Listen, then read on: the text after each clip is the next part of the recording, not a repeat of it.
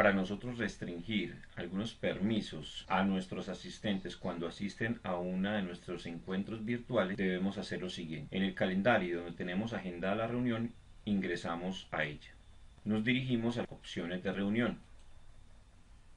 En el navegador se abrirá una nueva pestaña y aquí debemos venir a, a esta zona donde diremos que solamente personas de nuestra organización pueden ingresar a mi emisión y donde, de donde podemos restringir para que en este caso solamente yo tenga el control de la emisión. De este modo, los demás no pueden eh, ni retirar asistentes, ni silenciar micrófonos de otros, solamente yo tendré el control como organizador de la reunión.